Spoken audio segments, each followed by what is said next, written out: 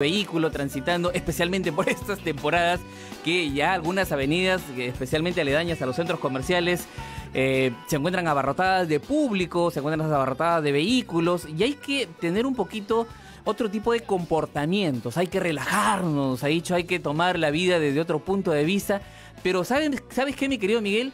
podemos eh, buscar alguna ayuda que nos ayude a relajarnos, alguna ayuda que nos permita, no sé, bajar nuestros niveles de estrés. Yo no sé si eh, de repente algunas infusiones nos podrían ayudar, aunque si, si bien es cierto la temperatura hoy en día en nuestra ciudad capital está subiendo, pero una infusión de repente no nos vendría mal. Ahora, tú sabes que no solamente estos beneficios nos puede traer las infusiones, vamos a descubrir un poquito qué otras propiedades nos pueden beneficiar especialmente a nuestra salud y vamos a conversar a esta hora de la mañana con Alfredo Menacho, es antropólogo y nutricionista y vamos a conversar sobre el tema especialmente que hemos planteado plantas e infusiones para nuestra salud. Don Alfredo, ¿qué tal? ¿Cómo estás? Muy buenos días. Hola Michael, ¿cómo estás? Buenos días. Buenos días a toda tu audiencia que debe estar, ah, estar interesada en cómo hacer para sobrevivir a esta ciudad y a esta suerte de locura colectiva en la que hemos estado, estado creo que en los últimos 20 años es que ha crecido mucho, o en los últimos 16, por ahí cuando empezó el crecimiento económico, y cada vez hay más autos. Creo que entran entre 100 y 150 mil autos nuevos a Lima todos los años. Entonces, o aprendemos a convivir con eso, o vamos a estarnos chocando los unos a los otros, ¿no? O buscamos alternativas que nos puedan relajar. Claro, en realidad lo que necesitamos es estar, tener más paciencia, como han dicho antes, ¿no? Y sí, y bueno, nosotros, tú sabes, corremos una compañía que se llama, bueno, tenemos una empresa que hacemos Guaguasana. ¿Ya? Y trabajamos con una gama más o menos amplia de plantas medicinales desde hace ya 25 años, ¿no?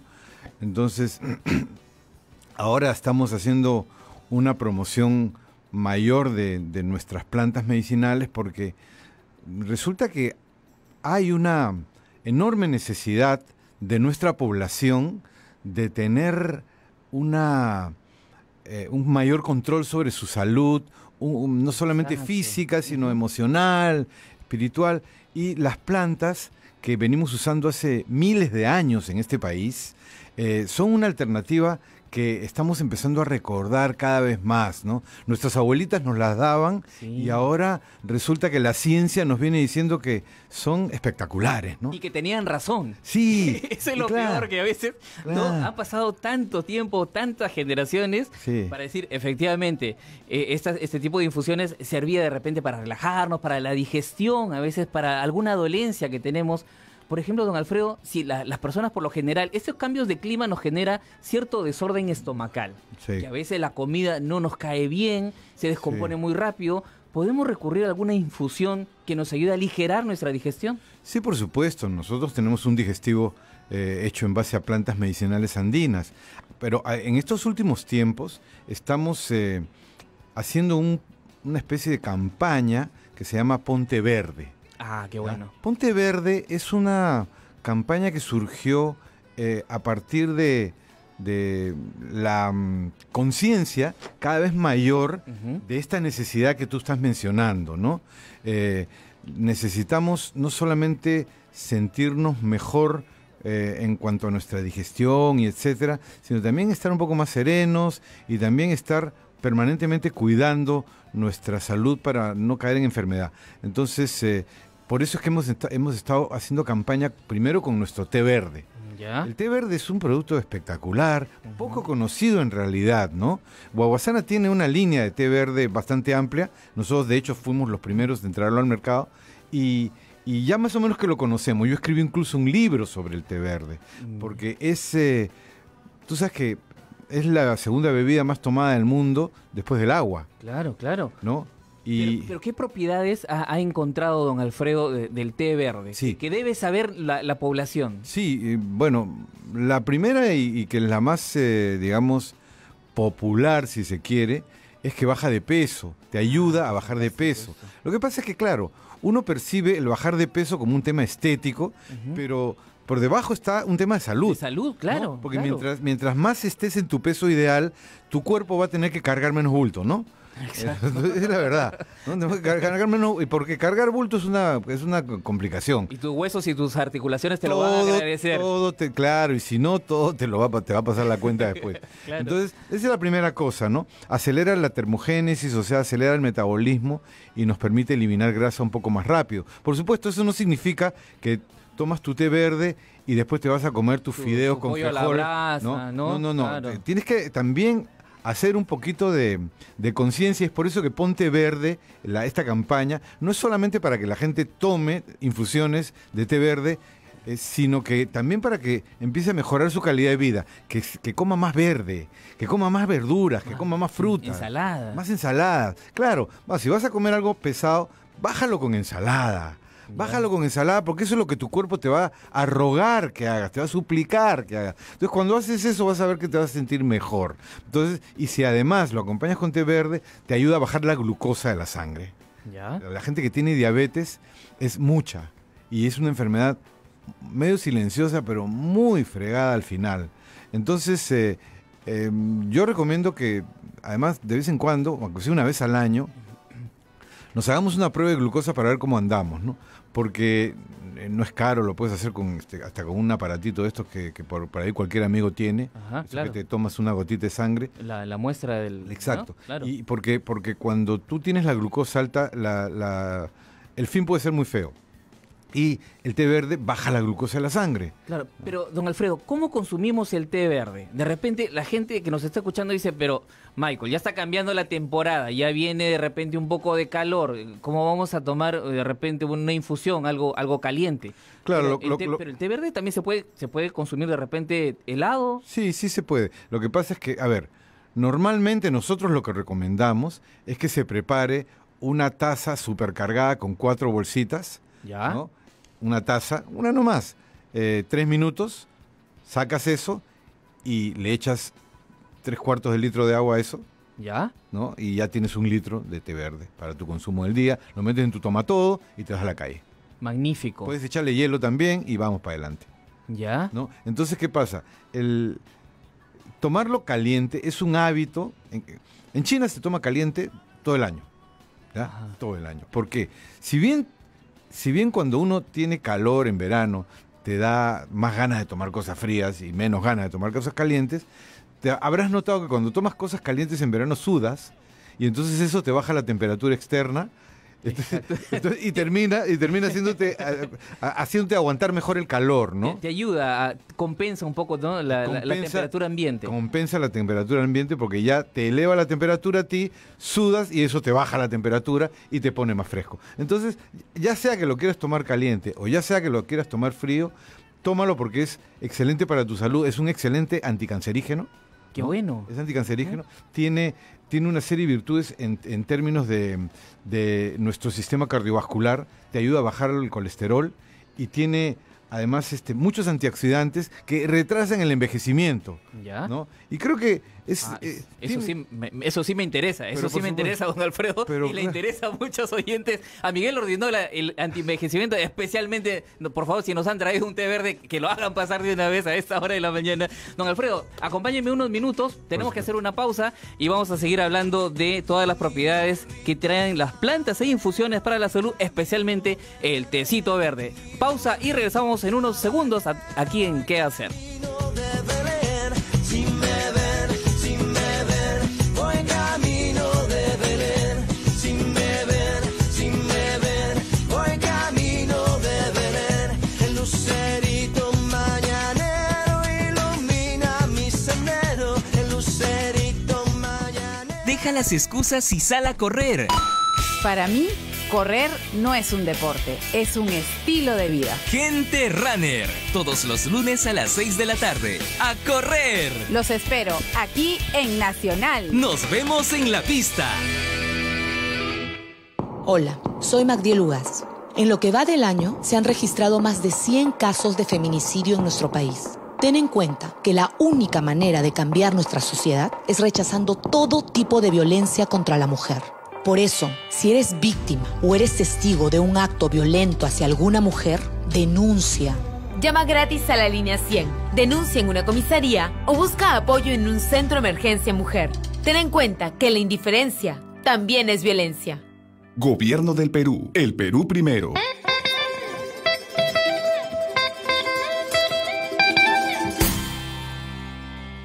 Este 9 de diciembre es el referéndum 2018. Elegiremos sí si estamos de acuerdo. O por el no, si no estamos de acuerdo. Por cada uno de los cuatro proyectos de reforma constitucional. Lo que tú decidas será la mejor elección para el Perú. Este 9 de diciembre, referéndum 2018. Decide bien, elige pensando. Infórmate gratis en Fono OMPE 0800 20 100. OMPE, hacemos que tu voto cuente.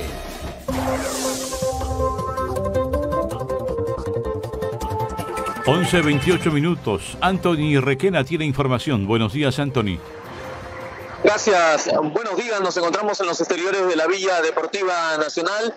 La Videna en San Luis, lugar de entrenamiento de la Federación Peruana de Fútbol, de la selección, donde se lleva a cabo de las 9 y 30 de la mañana aproximadamente un allanamiento por parte de la fiscal Sandra Castro, quien encabeza esta diligencia fiscal por y a propósito de la captura del presidente de la Federación Peruana de Fútbol, Edwin Oviedo, por, en el marco de la investigación que se le sigue en el caso de los cuellos blancos del puerto. Como se ha dado a conocer hace algunas horas, el presidente de la Federación Peruana de Fútbol ha sido detenido de manera preliminar por 10 días, según lo ha dispuesto la justicia de nuestro país, en el marco de esta investigación, así como a otras cuatro personas. Hasta aquí en los exteriores de la Villa Deportiva se ha redoblado la seguridad, donde se estableció un cerco policial en la puerta principal de la Videna y pues se encuentran realizando esta diligencia donde según se informa en el documento se va a hacer la incautación de una serie de documentos al interior del despacho de Edwin Oviedo, del despacho de la presidencia, así como también de material de cómputo, elementos de cómputo, se informa en este documento que de incautación también de teléfonos celulares y chips y como también elementos de cómputo. Cabe indicar de que está registrado hace también una hora el ingreso, justo cuando se realizaba este allanamiento del entrenador de la selección, Ricardo Gareca, así como de el gerente de selecciones Antonio García Pay y Juan Carlos Solita, director deportivo de la federación, quienes también se encuentran al interior de la vivienda y vamos a ver, conocer en algunos minutos más de enterarnos desde aquí de los exteriores si es que pues se encuentra eh, interviniendo o estar, estar al tanto de esta diligencia fiscal que se lleva a cabo al interior de la vivienda. Antonio Requena, el informativo. 11.30 minutos. La detención preliminar de 10 días contra Edwin Oviedo evitará la pérdida de documentos físicos o informáticos y una posible fuga, sostuvo el coordinador de las Fiscalías contra el Crimen Organizado Jorge Chávez Cotrina. El Ministerio de Economía y Finanzas ratificó la importancia del decreto legislativo que incorporó dentro del ámbito de aplicación del impuesto selectivo al consumo a los juegos de casino y las máquinas tragamonedas. 11 y 31, hasta aquí la información. Continúa ¿Qué hacer? con Olga Sumarán y Michael Reyes. En Cabana, Cabana Lindura, Escucha Nacional, 101.3 FM.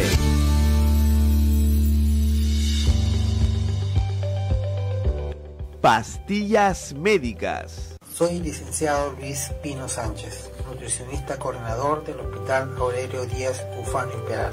Ahora que se acerca el verano, incluye también cereales, apuesta por consumir grasas buenas, como el aceite de oliva, para alinear tus alimentos. Consume también palta, aceitunas y frutos secos. No hay bebida más saludable que el consumo de agua.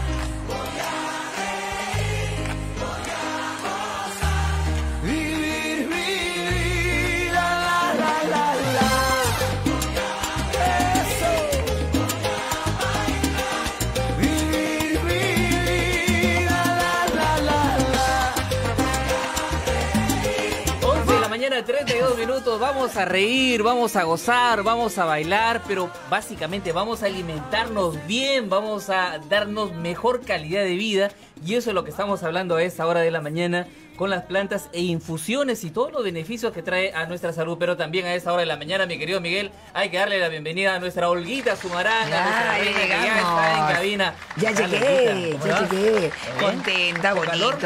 Un solazo afuera, mi Anita. Felizmente lo pusimos debajo como de un arbolito ahí que por rato llegaba, los rayos se pasaban, pero ahí todo bonito, todo muy bien. Pero además la gente ha tenido la oportunidad, la posibilidad de verte que estás radiante, que estás bella, que estás como los dioses porque tú consumes tu tecito verde. Por supuesto, yo tomo, consumo mi té verde, justo hemos estado acá Claro. saludándonos con Alfredito. Con Alfredo Menacho No, que sí, nos hablando acompaña. del té, Alfredo Menacho, hemos estado hablando del té verde y no, y de verdad es lo máximo, de lo máximo.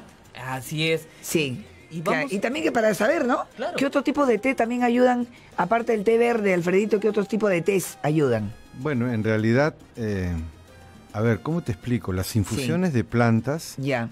son una manera bien especial de, de- de aprovechar las virtudes que tienen las plantas. Las plantas son especies muy particulares en la naturaleza, ¿no? Eh, reciben la energía del sol Ajá. y la Claro. transforman, extraen de la tierra todos los nutrientes y a su modo y manera Mm. las convierten en, en vitalidad, las convierten. Entonces todas las plantas tienen virtudes espectaculares. Entonces cuando tú las pones en infusión, extraes de una manera suave y dulce todo eso y, y es muy bueno, por ejemplo, tomar plantas amargas cuando tienes problemas eh, hepáticos, ¿no? El, el- el cuerpo a veces necesita plantas amargas. Y en el, en el Perú somos muy amantes del azúcar, por ejemplo, ¿no? Del Pero- dulce. Claro, como hemos sido un país que ha, que ha sido principal productor de azúcar a nivel mundial en el siglo, todo el siglo XX, ¿no? Claro. ¿Como Además, cuáles, Alfredito? ¿Como cuáles? eh, bueno, mm, Para hacer mención, manzanilla, no, eh, pa- ¿qué- si qué quieres, puede ser si- si- estamos hablando, mira, yo no voy a hablar solamente de guaguasana, voy a hablar de plantas en general, ¿no?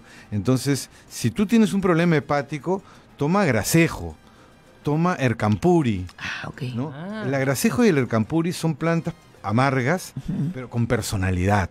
Lo que pasa es que nosotros tenemos una especie de aversión a lo amargo, ¿no? No, no como los chinos, que los chinos tienen entre su gama de sabores están está lo los, amargo. los amargos también, ¿no? Los italianos también tienen eso dentro de su cultura culinaria. Nosotros no, tenemos que aprender un poquito ahí. Eh, ahora estuve en Lince antes de venir para acá eh, con un con una hay en- en una esquina hay una una este, un eh, emolientero de estos claro. bien tradicionales Ajá. y, y he estado tomando aloe con ercampuri Ya. y este le puse un poco de sangre de grado y, y me hizo un cóctel bueno los, los emolienteros son pues lo máximo ¿no? Son que conocen Unos, ma- todo. unos maestros. No, son. Sí, son unos maestros. claro. Entonces, yo, yo de verdad le atribuyo a ellos una gran parte de la responsabilidad de que no andemos todos enfermos por la manera como comemos en el Perú, que es muy rica, pero un poquito pesada, ¿no? Claro. Entonces, eh, las plantas medicinales, eh, como nuestro digestivo, por ejemplo, tú te tomas un buen digestivo después de comer y sí, te alivia, Sientes. pero incluso cuando estás con un cólico de esos mortales, también te alivia. Lo que pasa es que tienes que tomar un poco más. En vez de tomarte una taza, te tomas dos o tres y Claro. te ayuda, ¿no? Entonces, las plantas están ahí para que nosotros las usemos de manera eh, intensiva. La generosidad de la naturaleza, debemos apreciarla. Y como hablábamos con, con Miki hace un rato, Con Wiki. me decía que, me decía Miki, claro, eh, son miles de años que venimos usando las plantas. Sí. Y, y la medicina convencional no tiene más de 100. Entonces, eh, yo creo que tenemos ahí una riqueza muy grande que tenemos que aprender a respetar y a apreciar cada vez Mm. A más. ¿no? valorarla, ¿no? Claro. Ahora, Olguita te, te mencionaba Sí. este, que, por ejemplo, ella consume, tú consumes té verde, Té verde. con piña, ¿no? Con piña, Sí. de su marca. Es- esta combinación, por ejemplo, ¿qué, qué beneficio nos trae? Claro, mira, lo- la, la- la piña de hecho es un diurético, ¿no? Sí. El té verde también lo es. Entonces, eh, eh, ahí se juntan para hacer. Lo, lo que pasa es que además de eso, el sabor del té verde, como no es un sabor culturalmente. eh, Ah, que, que nos lo, no lo hemos apropiado Claro, todavía, claro. todavía digo, porque es una cuestión de tiempo. Claro. Eh, es como cuando si tú eres chico y te tomas una cerveza, ¡ah, qué feo! Claro, y después aprendes a apreciar el sabor amargo y las cosas buenas que Tú tiene. chiquito no decías que feo, ¿no? Ay, Qué lico, qué lico, mamá, más, más, mamá. En mi, en mi biberón, en Mamá, biberón. más, más, decía. Así es su lengüita. Sí. Y ahí. Sí, sí, sí. Bueno, Miki, te estás- tienes una fama que te tienes una acompaña. fama, Miki, por favor, control, control, control, por favor. bueno, pero, pero el- la cosa es así, ¿no? El, el- el tema, el, el uso de plantas eh, en nuestro país, que es un país mega biodiverso, Ajá. somos uno de los dos o tres pa- países más mega biodiversos. Claro. O sea, tenemos 2.500 plantas útiles que se usan. Hablando de esto, Alfredito, ¿cómo consigue una señora, por ejemplo, en el mercado que quiere comer, el- tomar el té verde? Va, busca, pregunta el té verde suelto, ¿cómo lo venden así? No. ¿O ya todo está industrializado para que la gente no. sepa? En estos momentos yo solamente he visto té verde suelto en la parada. Ya. No de muy buena calidad, porque ojo, el té verde y los tés en general, en China tú encuentras pues eh, de 300 dólares la onza, Claro, es caro. que hasta, claro. hasta 5 dólares, ¿no? Pero hay una gama muy grande, muy amplia, y hay 3.000 variedades. Lógico. O 3.500, ¿no? Variedades de té, que es la misma planta, pero que la procesan y la siembran y le echan en el suelo algo. Y es, es- es un, es un país que gira alrededor del té, como yo te estaba mencionando antes, Miki. Entonces, Claro. ciertamente, em, lo ideal por ahora es consumir los industriales que, que- que ya vienen preparados en su bolsita filtrante. Y, y sí, claro, como te digo, no hay oferta en el mercado de té verde todavía eh, suelto, ¿no? Solamente en la parada podría conseguir. Solamente en la parada yo he visto, no he visto Claro, en ningún en sitio otro más. sitio no- no he existe. encontrado, no he encontrado. Ahora, Ah, don Alfredo, hay algunos países que, como por ejemplo, eh, claro, tienen una riqueza cultural como México, por ejemplo, pero que su, su- la, la bebida que más consumen son gaseosas, más allá de bebidas naturales. En esa parte de Sudamérica, por ejemplo, el único país que tenemos alguna referencia que consume este tipo de, de- de infusiones es, es Argentina, con sus típicos mates. Sí. ¿no? E- En el Perú, ¿qué, qué nos falta para cambiar un poquito ese, ese chip, esa mentalidad de que en realidad la naturaleza tiene muchas propiedades para ofrecernos? Bueno, yo supongo que información. ¿no? Esto que estamos haciendo en este minuto, por ejemplo, las Es personas que nos están escuchando y que, y que tienen una mínima sensibilidad respecto a la importancia que tiene su salud versus su paladar dulce, eh, se, se van a empezar a cuestionar y probablemente en algún momento van a probar. Y cuando pruebas un producto que es de buena calidad ya no lo sueltas. En Argentina, el mercado de, de infusiones es, eh, en este país, eh, acá en el Perú es de más o menos unos 30 millones de dólares al año. En Argentina es de más o menos de 140 millones de dólares al año. ¿No? Eh, los, los chilenos, lo- eh, lo- perdón, en Chile. Eh, eh, Chile es de lejos el país que más infusiones consume en América Latina. sí. Mira tú. Más que, bueno, Argentina lo que consume mucho es mate. Su mate. ¿no? El mate. Es una, es mezcla de y varias también hierbas. hacen té ellos, ah, y tienen un buen té verde. Sí, los argentinos tienen un buen té verde. De hecho, nosotros traemos de Argentina y de Chile. Algo, Alfredito, que te quiero preguntar. ¿Por qué en, en muchos hospitales, en muchas clínicas, ponen el boldo? ¿Qué el, el boldo? Quiero que me expliques un poco. Claro, el boldo, el boldo es una planta chilena. Ya. No, No hay en el Perú. Ya. De hecho, nosotros la usamos en, en- en nuestro digestivo. Ya. Una mezcla de plantas y lleva boldo. El ¿No boldo. siembran acá en el Perú? No, no, no, no. Mira no, qué curioso. no da. No da. El- lo han tratado de sembrar y No necesita los fríos extremos del, del sur de Chile, ¿no? La muña y estas otras plantas. Eh, la muña, sí, por supuesto, la muña es una planta nuestra. Claro, Es no, más, pero- nosotros la sacamos del anonimato hace 25 años, cuando la incluimos en Ah, nuestro digestivo. Claro, claro. Claro, y a partir de ahí, bueno, ahora creció, subió el precio, es una locura, pero bueno, es así, ¿no? Eh, pero lo que mencionabas sobre el boldo, el boldo es para el hígado también. Es un poquito amargo Claro. y tiene un sabor medio extraño. Amarguito. Bueno, pero es excelente para el hígado, ¿no? Claro que sí. Don Alfredo, nos gane el tiempo, por favor, díganos dónde podemos encontrar ese tecito verde, Mm. ¿no? Eh, para, para poder... este, Y otros tés también, ¿no? Porque tienen varios. Claro, bueno, Guavasana, tiene una, una amplia gama de productos. Yo les sugiero que los busquen en todos los supermercados. Estamos en todos los supermercados a nivel En nacional. bodegas, en todos sí, lados. Sí, sí. Eh, básicamente en supermercados, en mini markets. No estamos en bodegas. Ah, ok. Es, es un- eh, porque, por el hecho de que recién el té verde está entrando. Claro, claro. Pero eh, básicamente estamos en supermercados, en, en cadenas de farmacias, sobre todo en el Cono Norte, y a nivel nacional en supermercados. Pero yo les sugiero que vayan y, eh, a- al Facebook, búsquenos como Guaguasana, con W A, W A, W A, S A N A, eh, en- búsquenos en el Facebook, hay muchísima información Para que el estamos estrés, qué compartiendo. bueno ahí de tu. De no- de los bueno, nosotros tenemos, tenemos dos productos para Ahí eso. para dormir, también. Sueños, que Ajá. es para, para descansar mejor. Y Relax, que es eh, para, para también te ayuda a descansar y para bajar un poco la, la tensión. La tensión, de relax, locos, relax de guaguasana. Relax de Don guaguasana, Alfredo, sí. nos hacen una consulta también por, eh, por los canales internos. Me parece que hay llamadas que están preguntando si hay alguna infusión para los parásitos. Ah, sí. Ah, bueno, claro, en realidad sí, claro que hay. Este, eh, la, la más conocida es el paico, la planta de paico. Ya. El paico es una planta que se ha investigado profusamente. La Universidad de Cayetano Heredia hizo un par de investigaciones importantes y, y definitivamente el paico mata malos parásitos. Perfecto, muchísimas gracias. Muchísimas gracias, Alfredito Menacho, antropólogo, nutricionista, nos está hablando sobre el té verde y todas los, las, Las otras variedades plantas, de las variedades de que plantas tenemos. que tenemos. Gracias, don Alfredo. Gracias, muchas gracias, Alfredo, muchas gracias, Alfredito Olguita, linda. conocerlo. Muchas gracias. Gracias. Y un abrazo para toda nuestra, nuestra audiencia. Gracias. Hasta luego. Ya regresamos en unos minutitos.